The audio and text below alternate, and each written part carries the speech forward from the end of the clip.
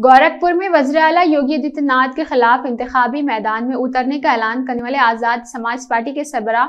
चंद्रशेखर ने कहा कि अखिलता और एस टी समाज की बदौलत वो न सिर्फ इलेक्शन में जीत दर्ज करेंगे बल्कि हुकूमत भी बनाएंगे चंद्रशेखर ने यहाँ मीडिया नुमाइंदों से बातचीत में दावा किया कि इनके साथ पैंतीस छोटी पार्टियां हैं उन्होंने बड़े लोगों से कहा कि इतिहाद नहीं करना है समंदर में नहीं कूदना है लेकिन नदियां बनकर खुद बड़ा होना है बहुत लोगों ने मुझे नकारा है और अब भी मैं बैसाखी के जरिए नहीं बल्कि खुद की ताकत पर आगे बढ़ूंगा और अपने इतिहादियों के साथ पेश खदमी करूंगा उन्होंने कहा कि मैं बड़े भैया अखिलेश यादव और बहन मायावती का एहतराम करता हूं उनकी पार्टी अखिलेश यादव के खिलाफ उम्मीदवार मैदान में नहीं उतारेगी मैं लिख कर दे रहा हूँ आज़ाद समाज पार्टी की हुकूमत बनेगी और वजर आलम भी मेरे ही पार्टी का होगा चंद्रशेखर ने कहा कि अपोजिशन ने कोई भी ताकत और लीडर गोरखपुर से नहीं उतारे हैं मगर वो पूरी ताकत से लड़ने को तैयार है जल्द ही गोरखपुर की तरफ कोच करेंगे